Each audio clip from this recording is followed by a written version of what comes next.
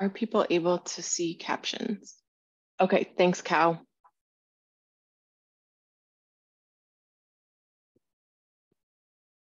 Yeah, sometimes the captions can, I'm um, using Spanish or Spanglish. we got, I've seen some crazy things like that is not what I was saying. I know they're getting better and better, but yeah, there's mm-hmm, there's there's a lot to be said for that. Okay. Okay, wonderful. I think I'll start with my introduction. Folks are still, oh, actually, let's see. Jake, let me make you a co-host. And that way, if you want, or if folks are in the waiting room, you can let them in while I'm talking. Or I can, I'm fairly adept at managing both. So um, yeah, welcome everyone. I think uh, I know most of you. I'm Katie Dichter. I use she, her pronouns. This is COSI, Conversations on Social Issues. I am a faculty librarian at Seattle Central. Today, folks will be coming from around the district and also um, there were lots of invitations sent out from Humanities Washington. So hopefully we get some community members as well, could be from all over the state. Um, and I am super excited for our opening COSI of the quarter. Uh, I will also say, I think lots of you know this as well, but I like to kind of um, honor the lineage of COSI, which is that we started COSIs through the library during Occupy, um, which I think is 10 years ago. And Kelly McHenry, a librarian at the time, started to host these on a weekly basis. Kimberly Tate Malone, who was a librarian at Central and now is at North Seattle College, continued. Um, and then even into COVID, we went online mostly. We're still online. Maybe someday we'll go back to the library at Central, but um, this is a long, long and honored event in the district. Um, so thank you all for being here with us. Uh, COSI today is sponsored by Humanities Washington's Speaker Bureau, Speakers Bureau program. Humanities Washington is giving funding to the speaker um, and helping us market the event. Their aim is sparking conversation and critical thinking, which closely aligns with our aims for COSI, so it's a perfect match. There's a Humanities Washington feedback form that I'll put in the chat in a minute that might be different than the one you've seen before. So, okay, I wanna get most the most time for Jake. Jake, thank you for coming. Um, this is Jake Prendez. Jake uses he, him pronouns and is a renowned Chicano artist in Seattle. Um, Jake is the owner and co-director of Nepantla Cultural Arts Gallery. You should visit them. Um, it is in Seattle's White Center neighborhood, so um, close to many of us. Jake's work is an amalgamation of his life experiences, a representation of his Chicano background, and a reflection of his time living in Seattle and Los Angeles Jake, thank you so much for joining us. I'm gonna give it give the floor to you. Thank you. So happy to be here, and thank you everyone for showing up and um, listening to me today. Um, so the title of the presentation is "The Art of Rebellion: Social Justice and Chicano, Chicano Visual Arts." Um, what I'm going to do is talk about how art has been used to mobilize communities, to um, further messages of social justice, um, and how that the means of the production has changed over the years. But this idea of um, using art to disseminate information and spread message social justice has kind of remained, and where those links are kind of through generations.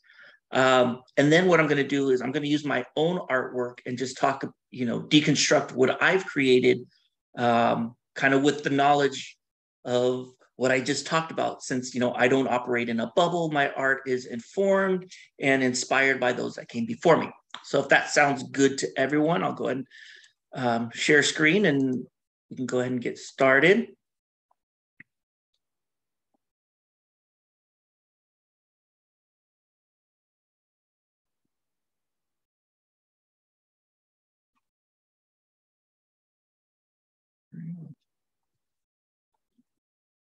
All right, there we go. All right, so what I'm gonna I'm gonna start with Mexican muralism um, and just kind of with the side note that revolutionary art and you know doesn't begin here. What I'm I'm using Mexican muralism as as a springboard, um, but you so you have to think about Mexico in the 19 to 1920s during the Mexican Revolution as you know a much different place than it is today. Um, Mexico was seen more as nation states versus this kind of unified Mexican country we know of today. So after the Mexican Revolution, one of the things that they wanted to do was create that unified identity of, of, of Mexico. And one of the things that they did is they enlisted um, Jose Vasconcelos, who was a Secretary of Public Education, to kind of create create this, you know, some program, something that's going to help us create this cohesive, unified sense of country. And so what Vasconcelos does is hires muralists from around the country to create these murals in public spaces. So, um, you know, in, you know, on public buildings, in public administrative buildings. Um, and so when they first start doing these murals, they're very steeped in um, like indigenous iconography, kind of our, our indigenous roots, and um, but very quickly, the artists that are kind of enlisted to be, you know, the the muralists are left leaning, um, some of them socialist uh, artists, and that comes out in the art they create. So very quickly, you see a kind of a shift from this kind of indigenismo to talking a little bit more about what's happening in the country and current events. And at the time, it was a lot about the um, Industrial Revolution and workers' rights. So you see a very strong, like, workers' rights message in a lot of these murals. Now, the three main muralists at this time, um, known as Los Tres Grandes, are David Alfaro Siqueiros, Jose Clemente Orozco, and Diego Rivera. Um, now, the one thing I, I want to mention before I kind of show their art is the way we look at art shifted with Mexican muralism, right? Up until then, art was really seen as a commodity, something you could own. So that, you know, the richest kings and noble people, right, could hire these artists to create family portraits or self portraits so it was very much seen as a commodity, where muralism shifted that paradigm to this is for the people. This is not owned by one person. Um, anyone that comes to this wall can see this art and is going to get the message that the artist is trying to convey, right? So these are los tres grandes. So you have from left to right, it's David Alfaro Siqueiros, Jose Clemente Orozco in the middle, and Diego Rivera on the right. And we'll start with Diego Rivera, who is most famous for being Frida Kahlo's husband, but you know he did some other things too.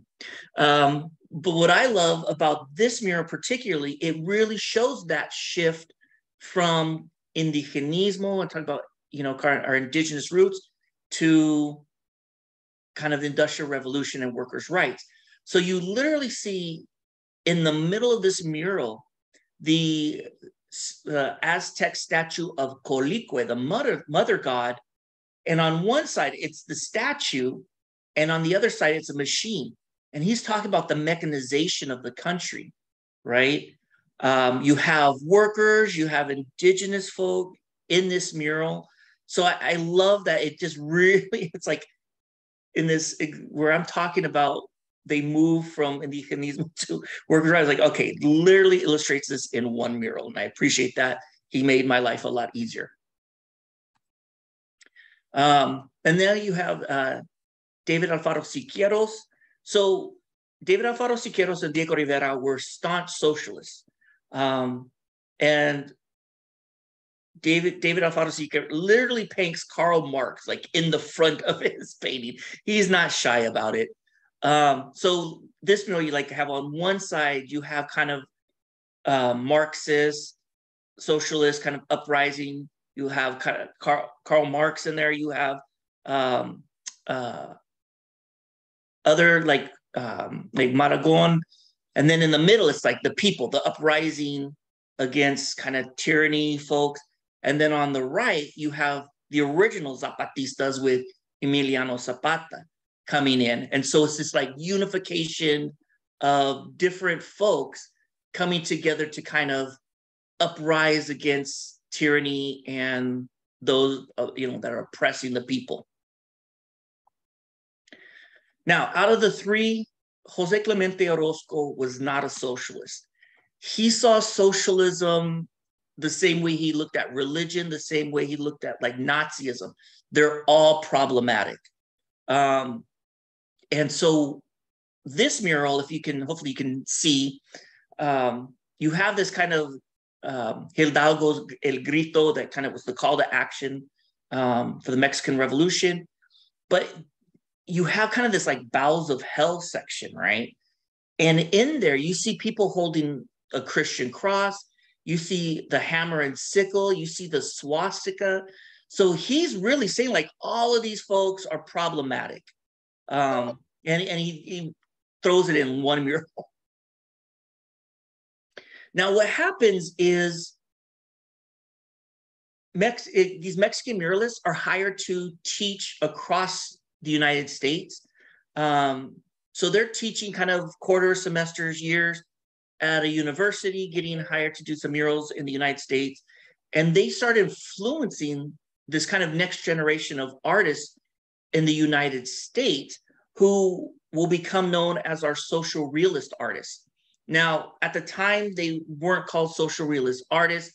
That term was coined in the 70s to describe them. But um, but this is kind of uh, the social realism era. Kind of was um, an art movement encompassing the workers and painters, muralists, photographers, filmmakers who drew attention to everyday conditions of the working class and poor. So I think what's really key about this era was making the working class, the poor, seen as that having value, having agency, having um, uh, honor, really. It wasn't cleaned up. It was still like kind of nitty gritty and it wasn't polished, but it should still showed these folks with kind of this sense of honor and value. Um, and so what happens is if you studied in history class and you know all about the you know the New Deal and FDR, um, part of that was the Works Progress Administration, the WPA, and through so this was like kind of putting America back to work, um, you know, creating you know building highways and you know infrastructure across the country, and part of it was putting artists back to work, and so through the WPA was the Federal Arts um, program. And so they hired artists to create screenplays, propaganda posters, to um, do all this art. And part of that was murals in public places. Literally, like, hey, what they're doing in Mexico really worked. So let's let's try that here. Um, so you know, post offices and public buildings and things like that were being adorned with these uh, murals by American artists that were influenced directly many times by Mexican muralists. Many of them actually studied under these artists while they were touring and teaching in the United States. Um, some of them became their proteges. Um, so, for example, there's an artist that um, Pablo O'Higgins, um, he used to be Peter O'Higgins, but he started studying under Diego Rivera. He's like, man, I'm changing my name to Pablo O'Higgins, and I'm, uh, and so he did some murals out here, and actually ends up going to Mexico and um, staying with Diego Rivera and, and doing a bunch of murals out there and living his life out there. But he did a mural locally for a Union shipyard, um, and when that later on, when that building was torn down, they saved the mural and it was um, like donated to the University of Washington. It was in storage for a few decades. And then I think it was in the early 2000s, students discovered this mural in storage and demanded that it be put back out on display. So if you go into Kane Hall, there's a big mural when you walk into Kane Hall, and that was painted by Pablo O'Higgins during this um, this era. And uh, and every once in a while, I'll I'll go mail a package somewhere, and I'll still see like they still have this original, you know, uh, social realist era mural in their post office, and um, and I'll geek out. I'm like, oh my god, and um, people are like, hey, shut up and buy your stamps. I'm like, oh, sorry. Um, so again, just like Mexican muralists, social realist artists, they get a little older and they start teaching at universities. They start inspiring the next generation of artists and teaching them. Mexican muralism and social realism very are very similar, right? It's taking your message, putting it on a wall for the people, right? And it um, but when you start getting to the, kind of this next generation, uh, oh, here's some real quick, just some examples of social realist art. Um, so you can kind of see this idea of showing the working class and the poor as heroic and with agency and um, not weak. But when you get to the civil rights era, something shifts, right? The, and that is in the production of the art. Um, does anyone want to chime in and just say what's different about this art? And, I'm, and again, I'm talking about medium. What's different about this than the murals?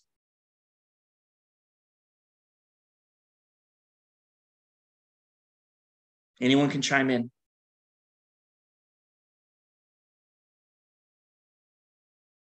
I'll chime in. Okay. This is Katie. Are they posters? So something transferable yes. and not attached yes. to a wall? Exactly. So screen printing becomes in vogue when we get to kind of the civil rights era art. So what we've done is we've literally taken the message off the wall and into the hands of the people. So with screen printing, it's still mass produced. So it's not, you know, it's still keeping with this idea of art for the people and not kind of this commodity. You mass produce these pieces, oftentimes just given away at a protest. Um, and yeah, so you, you can make a bunch of prints, take it to a protest, or you can ship them to somebody. So your message is reaching a larger audience now, a wider audience. And um, and yeah, so again, spring screen printing becomes in vogue. And in these examples, you see, you know, boycott grapes with United Farm Workers struggle. In the middle, you have a piece from Emory Douglas. Um, this Emory Douglas, he was the, um, I believe, Secretary of Propaganda. Something like he, worked. He ran the uh, Black Panther Party newspaper, and uh, but he was this amazing artist, and people would collect the Black Panther paper for like the new Emory Douglas piece. So they they'd be excited, like, oh my God, is the new piece in, in this issue? Um, so it became very popular. And then you have Who's the Illegal Alien Pilgrim by um, Yolanda Lopez. And I added this one because Yolanda Lopez just passed away last year. And she really was um, amazing and, you know, pioneering as far as Chicana art. Um, and I read somewhere that she, when she passed away, she had a, a, solo exhibition going on, and I read somewhere that that was her first solo exhibition. And she wasn't young; she she was like 80s, I think. So it took her that long to get her own solo show, and that breaks my heart. But I'm glad she got it before she passed. Um, all right, so when you get to the next era, it's it's really the same thing. It's um, these folks start teaching they start influencing the next generation of artists. And when you get to contemporary poster protest art, you definitely see the influence. But again, there's something that shifted in the way, um, in the means of the art. And should I try again to see if anyone? I don't know if everyone's muted and they can't chime in or. Oh, someone, I think someone about to. I'll give it one more second here. If you know what can tell what's different about this art versus screen printing, let me know. I'm gonna take a sip of my coffee. Jake, yeah. I don't know if you can see the chat. And of course, mm. take a sip of your coffee. Um, Willow says in the chat, social media. And Ukuni says digital. Angela says digital. And Brink says digital versus printing. Well, they're all brilliant and they are all correct. So, what becomes in vogue now is um, digitizing art. So, some of this is computer generated art, right? They do it on their computer. Some of it is still a screen print, right? But what they're doing is they're digitizing their art, right? So, where we put the art from the wall to the hands of the people, what we've done now is taking that another step, another jump, really, with social media. So now your message of social justice is international, it's global. It's not just who you can hand this piece to, but um, your message now is instantly international. So, and we've seen how important that is. I think the Zapatistas were one of the first groups that really used social media and online um, you know methods you know to really s- spread their message and get global support for what was happening in Chiapas. Now you've seen with Iran, you've seen in China, you've seen um, all these places that are giving these like live updates. What is happening right now? We're being attacked. This is happening. Um, and so, a real quick example in Mexico City, they have an amazing mural movement. Um, it just gorgeous murals, but unlike Los Angeles, who has these long, you know, Los Angeles being kind of the mural mecca of the world right now. Um, there's money that is like restoration budgets and things like that from the city to keep these murals clean and updated and ungraffitied. In Mexico City, these murals are whitewashed in probably a week or so, right? So longitude is not their strategy. They get those murals up on the wall and then post those on social media. So their murals are living virtually versus you know something that you can see. So they have all their links and everything like that and these have million followers and they're huge virtual artists basically. So um, yeah. All right. So I'm gonna whip through my art real quick and just talk about how I've been influenced by these. Um, so I did some murals in Guanajuato, Mexico, and had an amazing time and just was so influenced by what was happening um, in the city and you know the indigenous communities I was working with. Um, and it really, I think, transformed my art from creating these, you know, my early works were, you know, pop stars, you know, painting Beatles or The Clash or Run DMC or things, you know, some I like, to kind of having a little more ideology and thought behind them. Um, and so I did this series shortly after I returned. Um, it's called Cultural Resilience. We Still Exist. And it was just in response to hearing folks talk about indigenous communities like we're an extinct people. We're not extinct, we're still here. Uh, we might not dress exactly like our ancestors, but our culture survives in the way we cook, the way we dance, the way we raise our children, work with our elders. That culture has survived and it's passed down generation after generation. So what I did with these paintings was I painted portraits of families and family and friends. The one in the Seahawk jersey is my son. Um, and then what I did were these like Aztec symbols over their portraits to kind of represent this invisible culture we walk around with every day. One thing I'll say too, I, I went to a quinceañera recently and I noticed like, you know, when, when folks were dancing, I was like, my God, if we just muted the music and did like Aztec drumming. The boom, boom, boom, boom, boom, boom, boom, boom, boom, boom, boom. It like still would go.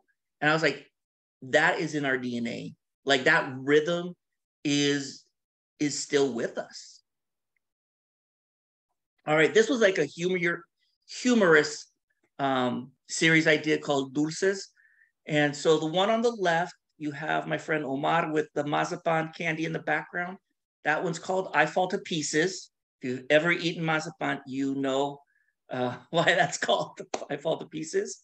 The one in the middle, middle is my friend Sipatli, and the one it has the crossing churros in the background, and that one's called Churro Know My Life. And then the one on the right is my daughter, and uh, it's got the concha in the background, and that one's Don't Be Self Conchas. And um, I tease my daughter because she's really shy and quiet. I'm like, Mija, you're literally the poster child for Don't Be self conscious. and you're self conscious. She's like, I know. All right. Uh, this series is called Mujeres Fuertes um, and Strong Women. And so you, the one on the left is called Be Still My Corazon. And um, she represents love in all its forms. So I tell the viewer if you feel great about love, she's offering her heart. If you feel crappy about love, she's ripped your heart out. So I'll let the, the interpreter um, interpret how they like. The one in the middle, uh, it's kind of life goes on. It's just a little more about the environment, kind of Mother Earth, and the whole thing with the shoe and the nopal. Uh, it's a little nod to WALL-E, if you remember that Pixar movie. Uh, they're trying to save the boo with the little plant growing out. And I thought, well, what's the most Chicano shoe out there? Chucks. And I'll just make the nopal coming out of the, the chuck. And then the last one is Artista, and she just represents the arts. And I got one of my favorite artists to model for me. That's Emilia Cruz. She is amazing, and she I don't I think she's like 26 or something, and I'm just like, oh, screw you for being so good so young. Um, but if you ever watch that show Gentefied on Netflix, the daughter on the show is this like Chicana artist. They actually use Emilia's artwork um, for the show, so it's actually her art. All right, so this series is called Contemporary Codices. I just had the idea of like, if we were still creating these codices like our ancestors, what would they look like today? So I try to capture everyday community, but in this style of the codices. And so you have kind of the Black Lives Matter protesters with the solidarity. You have in the middle like two graduating um, students. You have the paletero, the ice cream man, um, I have one of a girl taking a selfie. I have a breakdancer. I have a mariachi. I have a, an artist. I have um, a bunch of different father and daughter, a bunch of different ones that are part of this series. Um, but it, again, it's just trying to capture everyday community in the style of our ancestors. Now, this one I just wanted to throw into kind of, I did a, um, the painting on the left, I, it was one of my first ever paintings. So I did this, I think in 2008 and um, I was really, I really loved the concept of it, but execution not so much. So the idea is that it's called genetic memory uh, chinachli chusochil. So the mind is holding the symbol chinachli, which means seed, and the little girl's holding the symbol for flower, so chil. So the idea is that our ancestors have planted these seeds that bloomed into flowers with us, the seventh generation, which seventh generation is an important number because we didn't look at what was good for us or our kids, but we made decisions based on seven generations out. So again, I like the concept, but I, you know, I was like, uh, her head's too big. I didn't like the shading, all that. So a few years ago, I revisited this painting um, with my youngest daughter, um, and it kind of made it a little more conceptual, like the Mayans kind of painted on the wall that she's walking by, and instead of holding the symbol for flower. She's actually holding a flower. So she is the flower of our ancestors. Um, she is the hopes and the dreams and everything that we hope, you know, seven generations out would be. And there's some other examples of some of my newer work. Um, the guy flying in space, the title of that one is The Florist Racism. So he's just trying to get as far away from racism and hate, and he's up in outer space and that's part of a series I'm working on, um, kind of a superhero. It's like part superhero, it's part social realism, and it's part magical realism, right? But it's showing the everyday person as super and heroic, right? Um, all right, and then you have the two luchadores, which is actually me and my son when he was like seven. Um, it's one of my favorite photos, and he's 25 and doing his. He just started his PhD at UW, so I'm going through that whole. I miss when he was a baby. Um, so I wanted to uh, capture that. The one uh, with the little hummingbirds and the butterfly wings, that one's called A Little Prayer for Those Who Migrate. And the hummingbirds represent our ancestors. So this is during the caravans. And um, so the hummingbirds, the ancestors are guiding her along her journey. The butterfly wings represent migration. And the title is just a kind of a double entendre of she's literally a little prayer. She's someone who's praying, but it's also she's given a little prayer. And then the last one, La Nina, that's my friend's daughter, Naomi. She showed me this picture. I was like, that is the cutest picture ever. I have to paint it. And um, it was around De Los Muertos. So I just added the kind of De Los Muertos makeup and kind of made it like a, um, every year I do a De Los Muertos painting. That was that year. And then the last painting I want to show you is just kind of the progression of a painting. Um, so you have kind of the sketch, then you have the kind of undercoating. Usually when I'm at that undercoating stage is where I hate my painting and I'm like, oh, that sucks. I'm going to throw it out the window. And then once I start putting in the highlights and shadows, it starts popping better. It has more dimension. You add the background. And then the last step with this one was with a white paint pen, adding those symbols. And it was kind of a nerve wracking because I have this completed painting that I'm happy with. Now I'm going to take this like permanent paint pen. And if, you know, and sometimes those things will like just leak and you're doing something like you're like, oh. So I was like, oh, please don't leak, please don't leak, you know, or mess up on, you know. So I was happy, nothing went wrong, and that completed the painting. All right. Um, lastly, I want to invite you to visit us, whether it's virtually or in person. Um, the Nepantla Cultural Arts Gallery, we're the only Latino Chicana Chicano public art space in the Pacific Northwest. That's crazy to say, but it's true. Um, we're in the White Center neighborhood. Every month we have a new exhibition focused on marginalized communities, communities of color. Um, we have an amazing gift shop with things like concha pillows and chingona t-shirts and mazapan earrings and all that cool stuff. Um, you can follow us on Instagram or you can just follow my personal art page um, and then the website for both. And then you can buy prints and canvases and you know postcards and stickers and all that stuff from actually both websites. It's the same shopping cart. Um, but we really hope you can visit us because we also have um, we usually do like two to three free art workshops for community as well. So um, our mission is to make art an accessible experience. And um, yeah, so come visit us, whether it's for a workshop, whether it's to shop, or whether it's to check out one of our art exhibitions. Um, we love to see you all in person. And that is all of my presentation.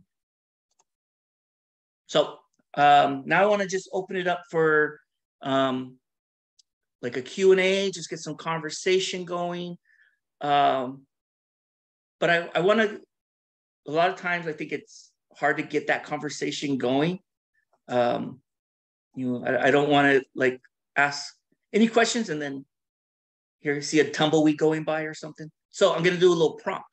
Um, but how has art touched your life personally? So does anyone want to share how art has made an impact, touched their life in a meaningful way?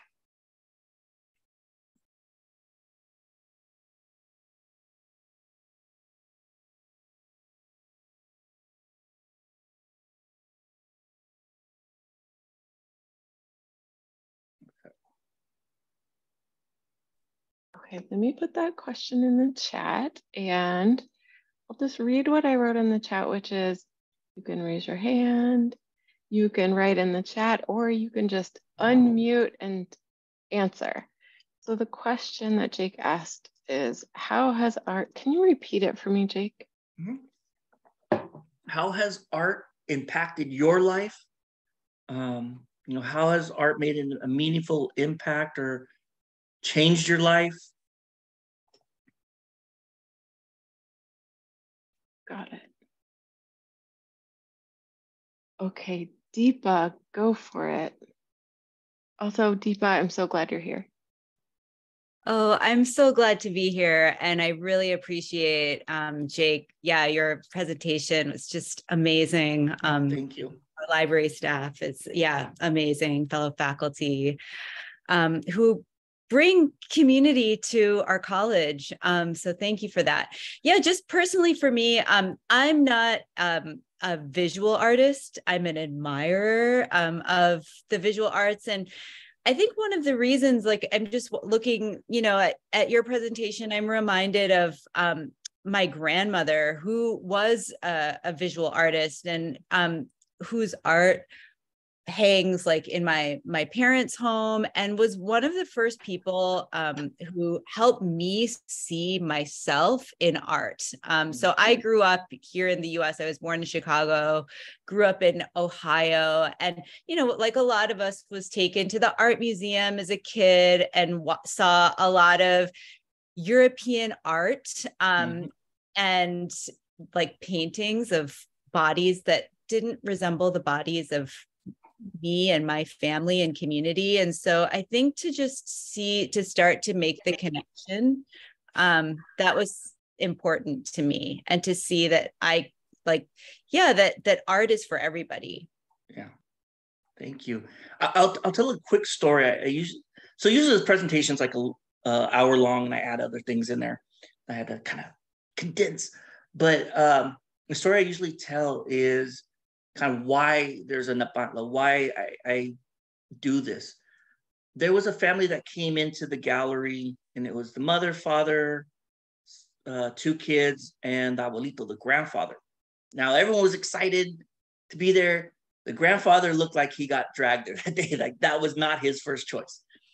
And um, you know, they're all shopping. I kind of looked away. I was doing some other stuff, and I look back, and I see him looking at the my art on the wall and he had this huge grin on his face and it hit me like this is probably the first time he's been in an art space that had art that reflected him that spoke to him that looked like him looked like family members of his.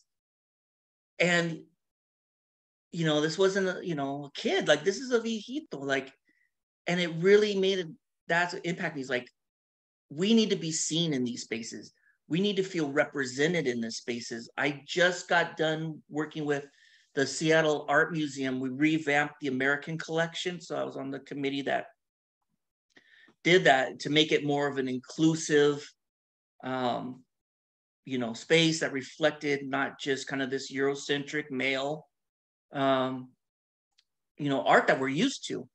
And I, I we made strides. I don't think it's perfect, but um, but there's some representation in there. There's a piece by Alfredo Arreguín, who's this guy's in the Smithsonian, yet not a lot of people in Seattle know who he is. So thank you for sharing. I appreciate it. There's some stuff in the chat that I will read. Okay, because I love it. Um, Sandy Long at South says, Public art has emotionally moved me, and I marvel at pieces everywhere around me, and advertising art on products in the store. It gives me a wide range of emotions. Brink says, it makes life worth living. It inspires emotion, thought, conversation, and so much more. Um, Danielle, and then Nicole, I don't know if you saw my message. What you posted in the chat went directly to me, so I'm happy to read it. I don't know if that was on purpose, but let me know if you'd like me to read it. Um, Daniela says, um, it has changes your views and you could feel emotions through art. Yes, totally agree. And Deepa says, thanks for your story, Jake, and the important your work you're doing at SAM, which I second. Yeah, decolonize art. Oh, and Nicole says, yes, read, please. Okay. So the last chat I'll read for now, and then I'll give some space for feedback or response. Sometimes we aren't always confident in putting ourselves in public, or the pressure is a lot and you mess up, or whatever it is. Art is space and time to express and only show to people when you're ready to. Thanks for that, Nicole. Okay, Angela. Angela, who has also blown up the chat with so many amazing things. Thank you, Angela. Go ahead.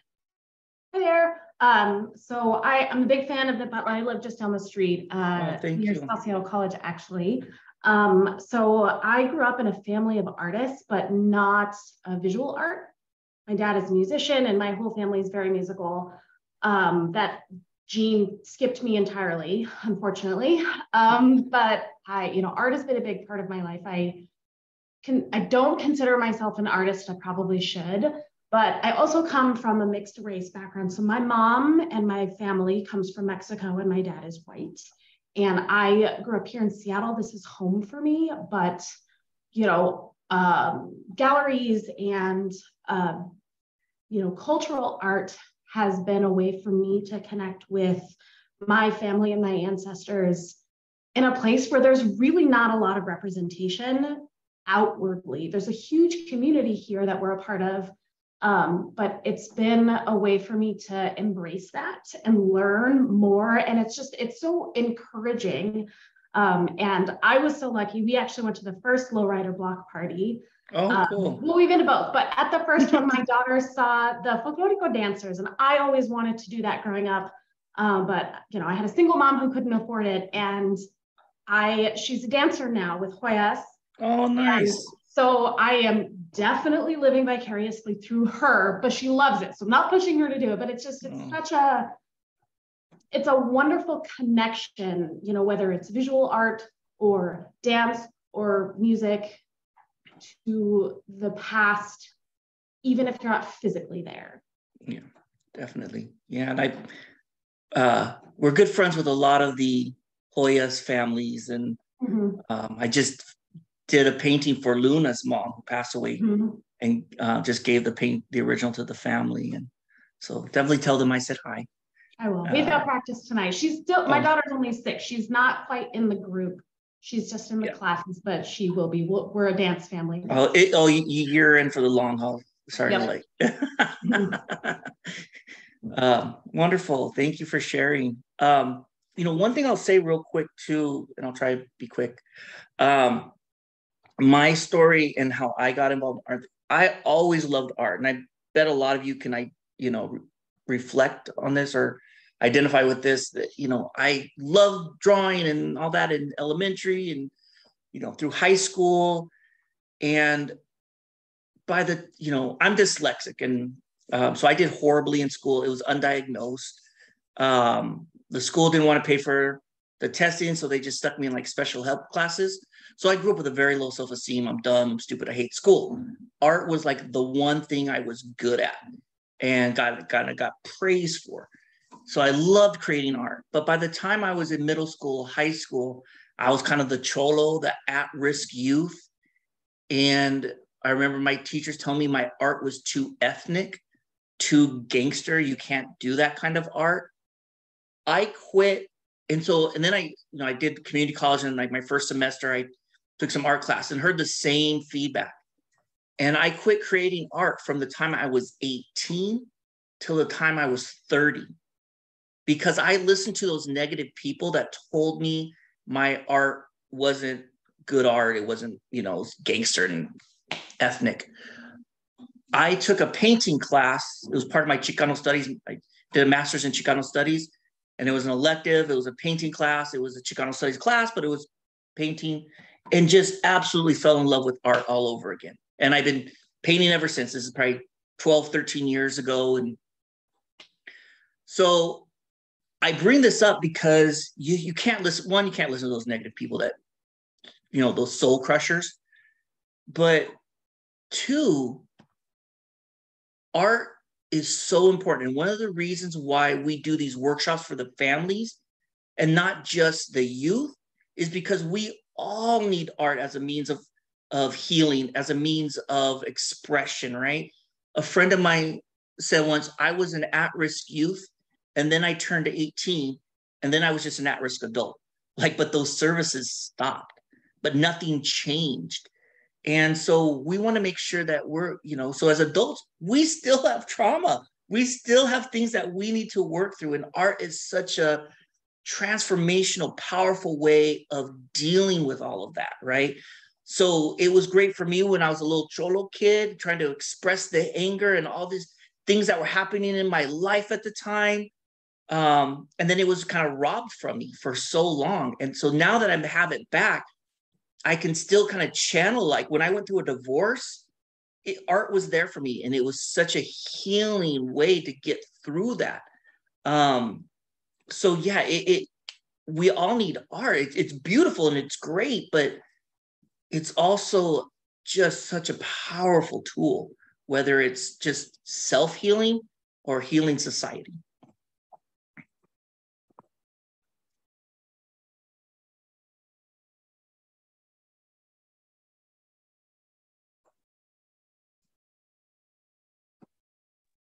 Angela has posted more information about dance. Oh, yeah, the Joyas Mestizas. Yeah, if anyone has kids that want to learn folklorical dancing, definitely. They're a great organization, and the folks, the staff folks that are with them are so sweet and nice and um, and patient with the youth. My daughter, you could go away here. You could see the art on my wall. Those are all my kids. Um, and then turn this. The one in the corner is when my daughter was in Joyas Mestizas, and that's she's in her little outfit. There. I I will say that um, I'm thinking about the Black Lives Matter mural that was painted on the street in that's like a block from the central campus. Yeah. Um, and a lot of what every, everyone is saying and what you're saying, Jake, about trauma, um, I think that, you know, that mural was born from spring 2020 and the uprisings, and that I, I think we probably all have a lot of really close, um, visceral, heartfelt emotions around what happened in our community and in the world um, from that time. And I'm glad it's there because we need it to stay there to remind us. As you think about what happened in that neighborhood that that's where chaz and chop was really for an extended period of time in mm-hmm. cal anderson park right across the street from our campus. And then the city government and business leaders in capitol hill and potentially administrators at our college central had those folks removed. Um, that it's really important for us to to remember that and to have art that mm-hmm. stays on and so that we can you know have a daily visual reminder of these important things that we lived through. Yeah definitely.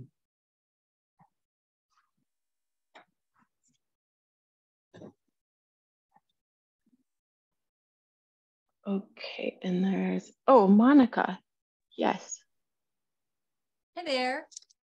Um, I did put, I already put it in chat. I was just saying, Jake, I gave my brother, father, and son uh, for Christmas a print of it, and he loved it. So thank you for making oh, that. Awesome. Thank you. For those of you don't know, it's uh, a father and son, both in lucha masks, Mexican wrestler masks. Um, and then I just wanted to share with everyone. I don't know, Jake, if you even know this. I don't know if Humanities Washington been talking to you about this. So I was a speaker uh, on the Speakers Bureau for Humanities Washington years ago, and I was hired most recently um, as one of their fellows to create some curriculum around talks. Uh, it's called Democracy Forward. Mm. So if anyone is interested in having Jake speak to a class, if you're an educator, it, it was really looking at high school classes, but I think um, first two years of college might also work. Um, and you're interested in having Jake come and talk, and then maybe some curriculum to support that, um, let me know and give me some information. Um, so I, I, wanted to ask Jake just a little bit about this. So when um, you were talked to about being included in the democracy forward, or my at that point, point it might have been called democracy track. What were you, what were your thoughts about being included in that, and how your work sort of lends itself to these conversations around around democracy?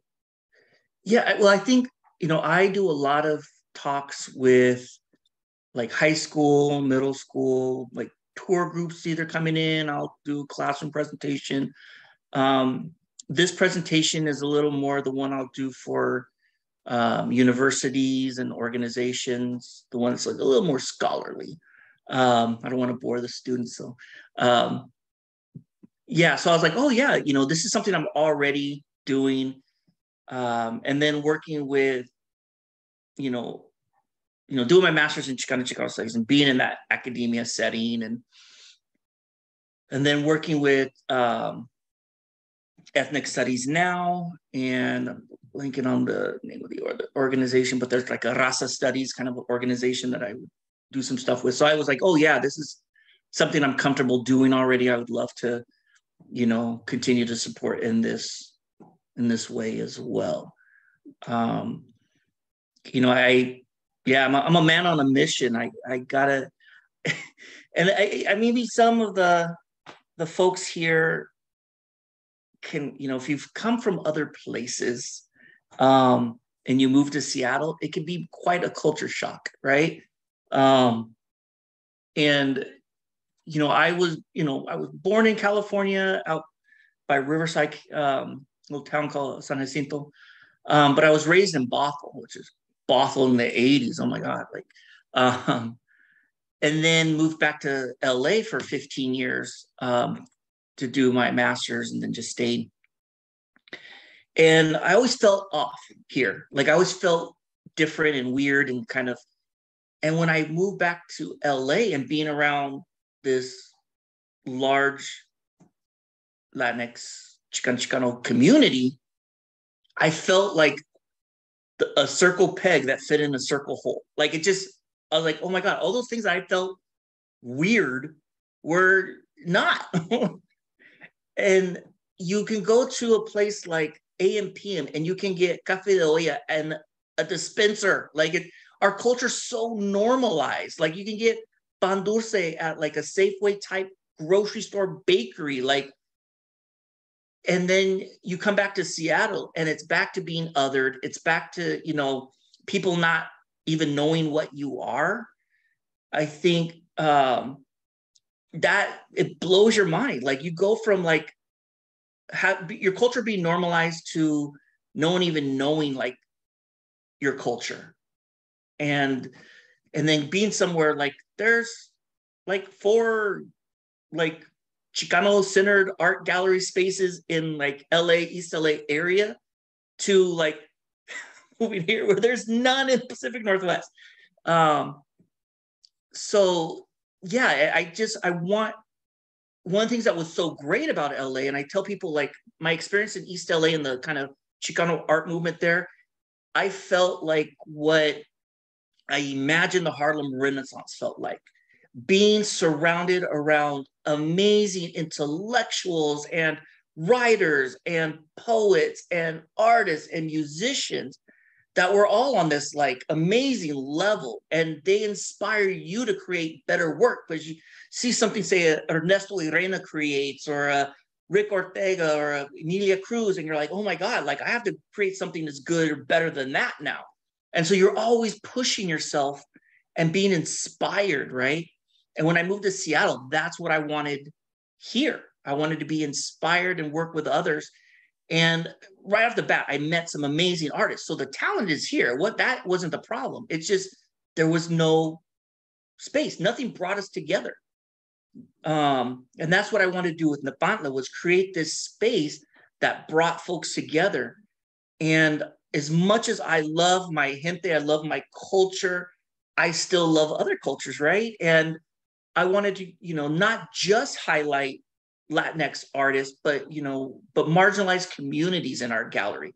So while most of our artists are of, you know, Latino uh, descent, um, we've had, you know, our Black in the Northwest art show. Um, we've had queer art shows. We've had an all women's art show. We've had a Pacific Islander art show.